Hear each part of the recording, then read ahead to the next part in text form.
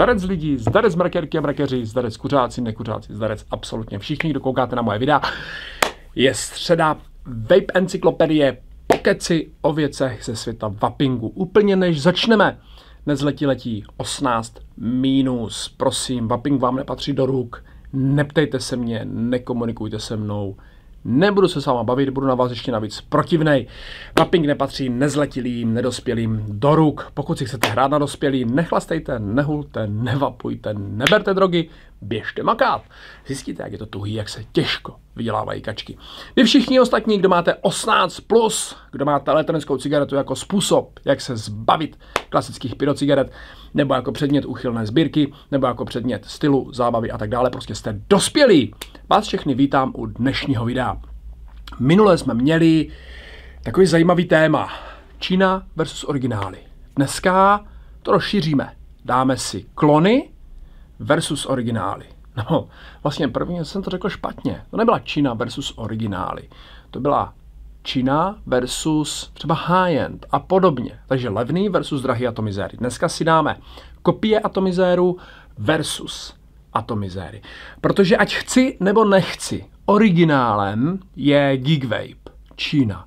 Originálem je Smog, Čína. Originálem je E-Leaf, Čína.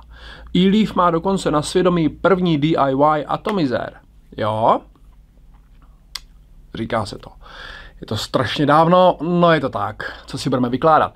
A k tomu mám samozřejmě Hasser Vapey, Polsko, originál, drahý jako ďábel. Vaponaut, Francie, originál, drahý jako ďábel. Je jich hodně. Vapor Giant, jo, Fine Modes, jsou výrobci, kteří se dají lehko klonovat a jsou výrobci, kteří se absolutně nedají klonovat. Aldin Modes, kdo ještě, strašně moc známých firm, Eden Modes, dělají Rose, Atomizer, jeden z nejvíc vyšlehlých klonů, jo. Je toho strašně moc. Je toho strašně moc. K čemu jsou klony? Úplně začneme tím, k čemu jsou klony. Klon je levná alternativa originálu. Tak by to mělo být. Ovšem jsou různí výrobci klonů. Byly doby, kdy se dělali klony fakt jedna ku jedné, absolutně k nerozeznání od originálu, maximálně třeba hrubě zřezaný závity a trošku jiný materiál. Dneska ty klony můžou být úplně strašně šitový, úplně prostě strašně špatný. A zároveň s tím to můžou být klony strašně fantastické. A samozřejmě mezi tím lítá cena. Takže začneme první. Klony versus čínské atomizéry. Tady mně to občas připadá, že denní směna na výrobní lince to razí s logem, se sériovým číslem, se vším. Noční směna to razí bez log, bez sériových čísel a vypadá to víceméně úplně stejně. Jo, a teďka vyplatí se kupovat klona, když jako klon je levnější verze originálu. Mělo by to být jedna ku jedné, což u těch čínských velmi často bývá, velmi často taky ne. Záleží na tom. Jo? Nebudeme to řešit. Každopádně klon by měl být levnější verze originálu. Teďka si vezmu, že čínský atomizérně stojí by oko 700. 700 není zas tak moc. To už není ani karton cigaret. Versus 300, 350 korun s poštovným najednou 450 korun klon. Nebo 500 korun klon. Má cenu kvůli dvou, třem stovkám, což je, řekněme si na rovinu, jeden shake and vape. E, řešit klona? Nevím. Klony mají tu výhodu, že občas nabízejí barevné variace, které originály nenabízejí. Ale má to smysl řešit za tyhle ty drobný? OK, pro někoho má. Pro někoho i 200 korun, 300 korun je fakt rozdíl. Ovšem na druhé straně, hele, eh, když kouříš cigarety, nejdeš si koupit nějaký klony. Jdeš si koupit cigára, který chceš. Protože si krapka dneska stojí kolem stovky. Jestli uh, tvoje cigára oblíbený stojí 90 a levný stojí 86, nikoho to nezajímá. Prostě si jdeš koupit ty cigára, který chceš. Takže a nemáš na cigarety, no tak je varianta. Jdeš si vyžebrat za kámošem, kámo, nemáš cigo, dvě, tři, karton, eh, nebo prostě nekouříš. Rappel, psycho, že jo, a pstáky pro silný kuřáky a nekouříš, na to nemáš peníze, no tak hold nekouříš, no. A když nemáš peníze na vaping, nevapuješ. Když nemáš peníze na vaping, když a koupíš si klon, protože je podstatně levnější a vleze se do tvého rozpočtu. A já poslouchám některý studenty, že vaping není pro ně úplně levný. Proč vapujete, proč kouříte, když to pro vás není levný? Kde jste brali prachy na cigarety? Jo?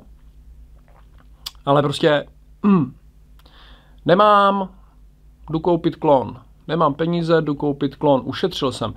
Nemyslím si, že e, je tam úspora. Jo? Ten klon zvládne nadělat mnohem větší neplechu kolikrát a čtu to na skupině. Hele, mě to teče, mě to netěsní, mě to tady mám nakřivo, mě to nedolíhá, bum, bum, bum, bum, bum. Pořezal jsem se o závity, bum, bum, bum, bum, ale to jo. OK, to je jedna varianta. Klon versus Čína. Teďka klon versus high-end vaping. Tam je to trošku jiný kafe. Jsou firmy jako je SXK, ITFK a já nevím, je jich několik, které dělají fakt fantastický klony. A ty klony jsou třetina až třetina ceny většinou atomizéru, třetina až polovina ceny atomizéru. Jsou levnější, ty za to prostě nestojí. Když koupíš něco, co je fakt rozgeglaný, netěsní to a koupil jsem si schválně klonový extension tank, rozšiřovací tank na Project X, mám originál Project X, koupil jsem si od nich rozšiřovací tank, nesedlalo to, nesedělo to, protíkalo to, kvedlalo se to, bylo to úplně hrozný prostě a je to SXK, je to jedna z těch lepších značek, jo. A klony kupuju ve dvou případech když je to fakt drahý atomizer, jaký myslím fakt drahý atomizer, i na mý poměry. Tisíc, dva tisíce dolarů, jo, třeba auko. A chci do něho jít, tak prostě 50 tisíc korun nedáš za atomizer jenom proto, že si ho jdeš vyzkoušet. Zkusil jsem klon jedna ku jedné a budu zvažovat, jestli chci ten originál nebo ne. Druhá věc je, ten atomizer je absolutně k nesehnání. Což je zrovna teda, jako, dejme tomu, i to auko, jo? protože za A je drahý, za B je k nesehnání. Ale třeba Hasser Vape uh, Torpedo Micro End Edition. Jdu si koupit klon, protože protože prostě originál neseženu. Udělalo se o 140 kusů, 100 kusů do prodeje, 40 kusů pro kamarády. Jdu si koupit klon. Uspokojí mě ten klon, ne, radši se vykašlu na End edici a půjdu si koupit normální Torpedo Micro, jo. End edice mám stejně do sbírky, jakože Collectors, jakože sbírá cenu a normální Torpedo Micro třeba saténový používám úplně standardně. Pak je tady třeba Le Vaponaut, nebo Vaponaut Le, Le Concord. Jo? A ten atomizer se vyrobil v tisíci kusech a je docela velká halda ho sehnat. Jdu si koupit klon. Nemám klon, mám originál, sáněl jsem ho docela dlouho. Jo? Stejně tak Supersonic. Stejně tak všechno, co je tady na stole. A teďka jako prostě klony. Vezměme to takhle. Proč já nemám rád klony? První, úplně první. Start atomizéru, jakýhokoliv, je nápad. V high-endových evropských, amerických nebo prostě v high-endových světových firmách je, zabere development atomizéru nějakou dobu. Jo, třeba Hasser Vapum to zabere i půl roku, úplně v pohodě. Smoker Store, půl roku, rok vyvíjejí další typ atomizéru. Jo? Je tam nápad, je tam development, je v tom zainvestovaná spousta času, nakreslení, rozkreslení a tak dále. Přijde klonováč a obšlehne to, neřeší nápad, neřeší zainvestovaný čas. Fajn, OK, dobrý, dobrý, OK. Neplatí nějakou licenci nebo něco, má to prostě na háku. I když někteří klonovači si platí licence a jsou normálně s výrobcem dohodnutí. Jo, s tím, s tím originálním producentem. Další věc, která je, je přesnost. Vstupní kontrola. Kontrola počas výroby výstupní kontrola. Tohle velmi často u těch klonových atomizérů chybí. Proto se setkáváme s tím, že nesedí těsnění, nesedí díly na sebe, jsou divně řezané závity, může tam být spousta dalších vad, včetně kvality materiálu. A když si vezmu třeba skvejpy, ti borci kontrolují každý díl, než jde zabalit. Jo, do té krabičky atomizéru. Švýcarská přesnost, hodinářská práce, tam je to prostě obrovsky poznat. Všechno je tak, jak má být. Žádné odchylky nejsou tolerovaný. Mají takový ten eh, blbeček, co z toho kouká eh, tyčinka, tady to má ciferník a prostě všechno to měří na tisícinu, na setinu milimetru. Jo? Jakmile je to špatný, jde to pryč. Já jsem přemýšlel vždycky, kam to jde, to třeba neprodávají joke, jo, my se neprodávají na fastechu, jako víš co, klon, skvělý klon, protože nespadlo tabulek. Ne, to je, to je jenom vtip, jasně, že to nedělají, to je fakt jenom vtip, jo. A přesnost, materiály, výstupní kontrola, To je další věc, kterou Číňan úplně neřeší. Třetí věc, proč jsou originály dražší, je, že když to celý spojím, tu hodináž a všecko, musí to být prostě dražší. Navíc třeba u high-endových atomizérů není pro ně možné, protože mají vlastní výrobu, není pro ně možné zadat někde výrobu 100 000 kusů, tak jak u klonovačů, nebo tak jak klasicky u Číny. Jo? Čína to prostě nafláká, čeká, až se to prodá. E, evropské firmy nebo high-endové firmy, americké firmy pracují s nějakou kalkulací, kolik toho prodali, prodali, vyrobí něco navíc a pak když tak dovyrábějí ještě další beče. A najednou zjišťujeme, že když vyrobím 100 000 kusů něčeho, stojí to nějaký peníze. Když vyrobím tisíc kusů něčeho, stojí to mnohem víc. Jo? A to je takový potom trošku problém cenový. Takže uh, high-endový vaping je obecně hůř dosáhnutelný, protože se vyrábí v mých, kus, v mých kusech, má nějakou svoji exkluzivitu a tak dále a najednou přijde ten klonováč a celou tu exkluzivitu se vám pokouší vymazat. Neřeší, kdo to vymyslel, nějaký nápad, neřeší, kdo v tom zainvestoval kolik času, neřeší výstupní kontrolu, kvalitu materiálu, kvalitu provedení, prostě se to naseká a spousta klonů je potom fakt špatných. Jo? A kdo to řeší? Nikdo. Až potom konečný spotřebitel, když to čteš ve skupině, hej, mě to teče, mě to dělá bordel, máš originál, ne, mám klon, mám klon, no, tak co řešíš, neotravuj s tím nikoho. Jo, mám klon, to je prostě takový problém, jo, mám, mám klon, proč mi to teče? Protože máš klon. Se, se zeptal, odpověděl si sám. Buď máš gremlové ruce, nebo prostě je to fakt tím, že máš klon, a, nebo je to spojený v oboje dvoje dohromady. Tohle všechno klonovači neřeší neřeší exkluzivitu toho produktu. Když si někdo jde koupit uh, tenhle ten atomizér, tak uh, ví, že je v tisíci kusech na světě. Ale díky klonovačům je na světě ve sto tisících kusech. Sice jenom tisíc kusů z toho jsou originály, ty, které mají hodnotu, zbytek je prostě plebs, ale pořád místo toho, uh, víš co, kdo ti klonuje třeba Lambo? Borci po garážích se pokoušejí vytunit doma něco, co bude lambu hodně podobný, ale motor, jo, díly, design, aerodynamika, veškerý atesty, veškerý zkoušky, veškerý testy odolnosti materiálu, veškerý certifikáty bezpečnosti. Sami víte, jak vypadají čínský auta, klony BMWček. Jo? Tam nějaký Shuong Sang Ming Un, se rozfláká jako BMW SUV při, při 30 km v hodině úplně na kaši. Přijede normální BMW, to samý, nějaká X5 třeba, a ve stovce rozšvihá strom, praskne mu nárazník a praskne mu světlo. Kdyby tohle udělal s tím Číňanem, se rozbije na atomy, rozstřílí se úplně všude. Čekáte někdo, že podobnou kvalitu atomizérů vám dají klonovači? Když už vám ji dají, tak si ji nechají stejně zaplatit. YTFK jsou strašně drahý klony. Jedny z nejlepších, dělají kombinace barevný, který eh, standardně výrobce třeba nemá, anebo si je musím nechat dodělat jako custom a na tom honějí zákazníky. Já teďka si vezmu, že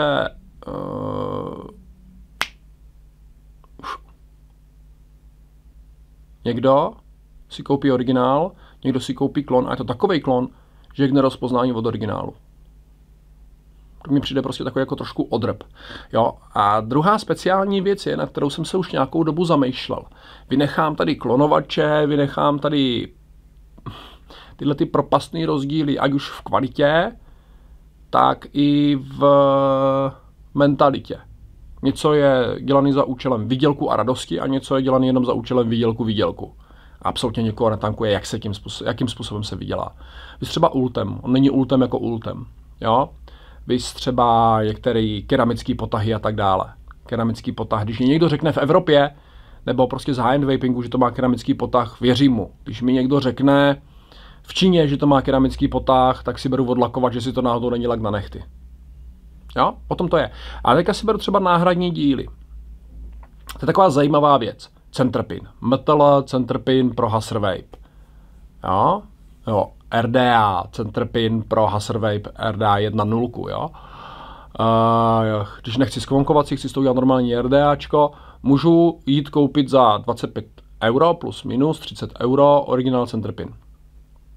Nebo zmrším si kotelnu na Skyline. Jo, nová kotelna mě i s doručením stála skoro 40 euro. A nebo můžu jít a vzít z klonu. Když to sedí, je to OK, záleží na vás. Nikdo vás za to nebude soudit, vy sami už v hlavě víte, že to vlastně není kompletně originál. Jo?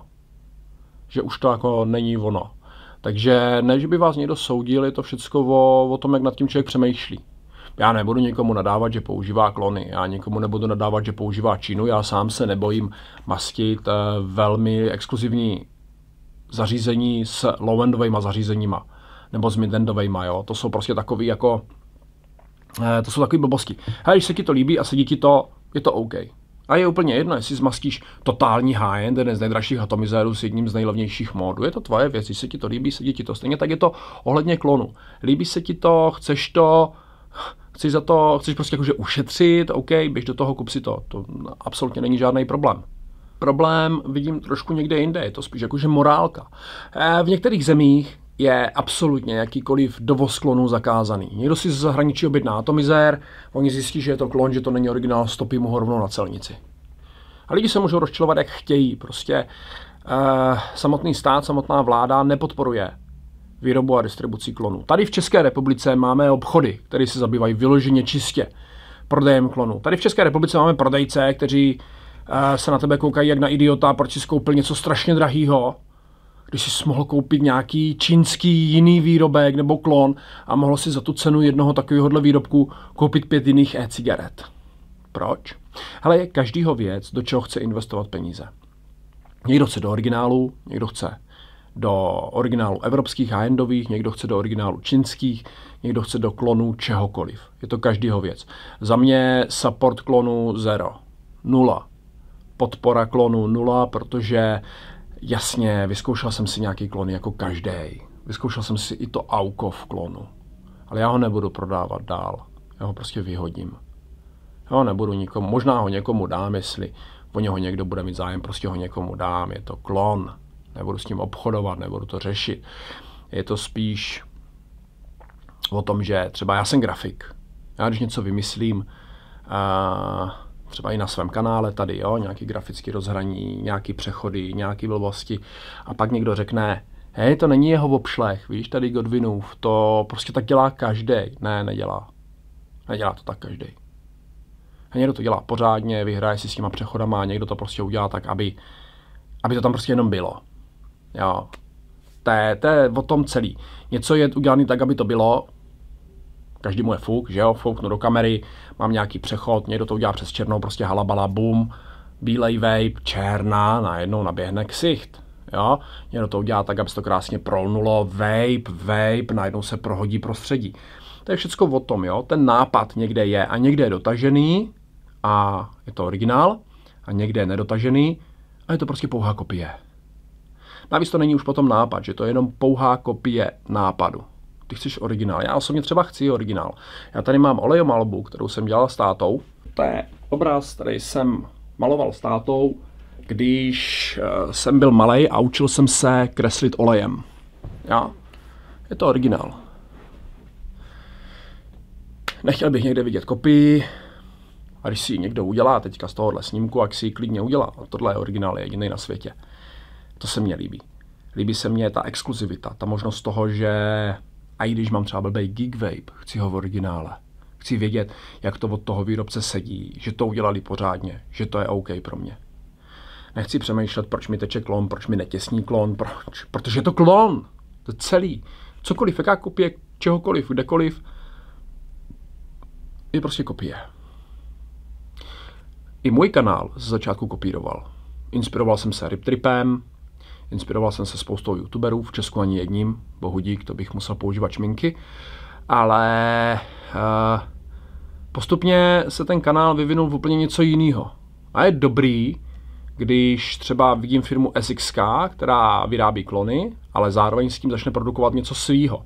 A najednou to od nich stojí úplně jiný peníze, protože zjišťují, že ta vlastní produkce je prostě vlastní produkce. Je to náročnější, časově to zabere, a chci se tím prezentovat a chceš, aby to vypadalo prostě OK. Aby s tím byli lidi spokojení. To je přesně ono. Eh, když budeme kupovat klony, kdybychom začali kupovat jenom klony, já vezmu situaci, budeme kupovat jenom klony, najednou skončí veškerý high-end vaping, najednou skončí všechno. A už nebudou následně, nebudou ani klony. Protože firma, která vyrábí tohle nebo tohle, ať je ve Švýcarsku, v Polsku, ve Francii, v Americe, v, ve Filipínách, kdekoliv, jakmile firma vyrábí nějaký originál něčeho, dostaneme se k tomu, že když nevydělávají a lidi kupují jenom jejich klony, zaniknou. Skončí. Nebudou. Tečka, šlus, zavřeno, zatáhneme roletu, vyvěsíme štítek, krach, konečná. A pak nebudou ani klony, protože nebudou mít co klonovat. Celkem logický, že jo? Jakmile není co klonovat, klonovači nefungují. Budou vyrábět kopii pár atomizérů, ale tím zasytí trh. Klony jsou levný, tím zasytí trh. Zmizí originály, takže klonovači nahodí ceny nahoru.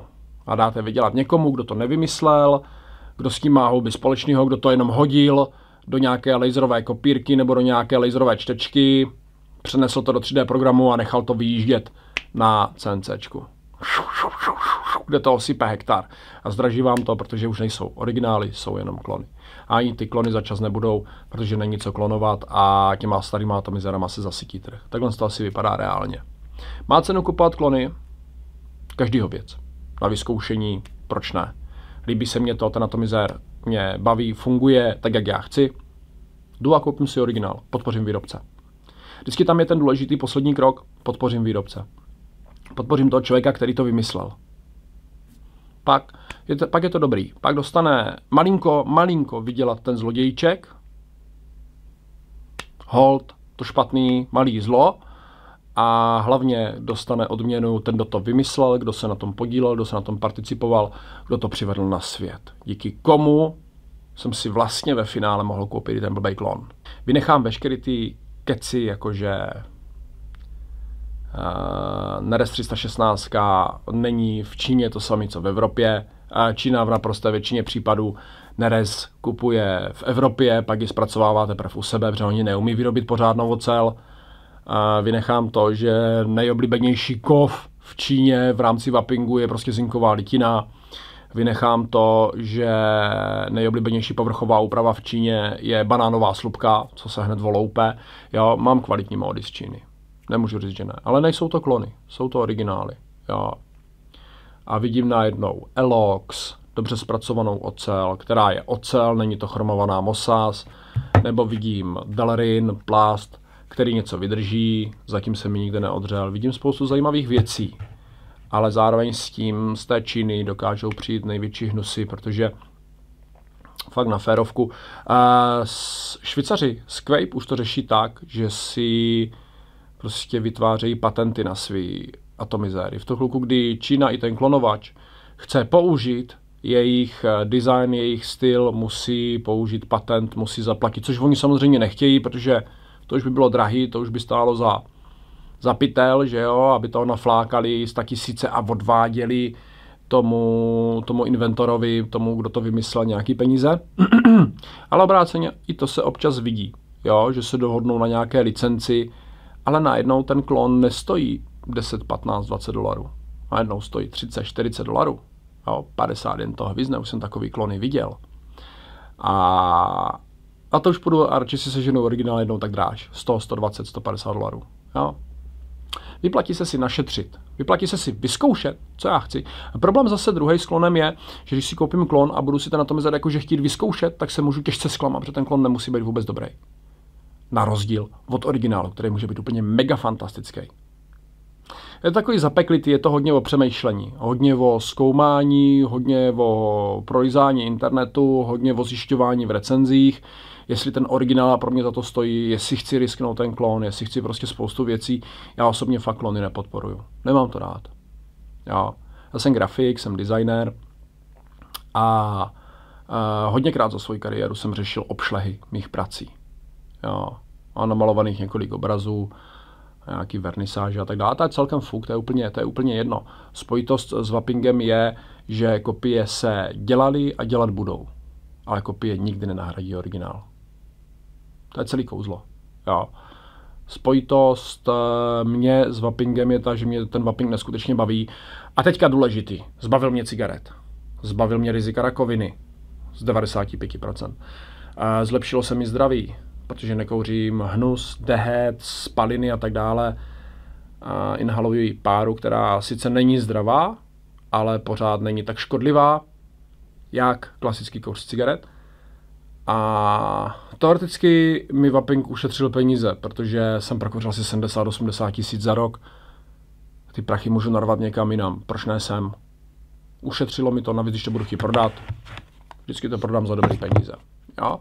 Ušetřilo mi to a jsem spokojený. Takže teďka se budeme bavit o tom, nebudeme se už bavit o ničem. To je celý. Je to každýho přístup, náhled. Není vaping, který by se nedal koupit. Je vaping vždycky je vaping, na který se dá našetřit. Něco si můžu koupit z jedné vyplaty, něco ze dvou, něco ze třech, něco až za rok. Jo? Do, do prasátka. Klon není dlouhodobě řešení. Klon je řešení na zkoušku, který mě může ale zklamat. Takový vážný pokecový díl.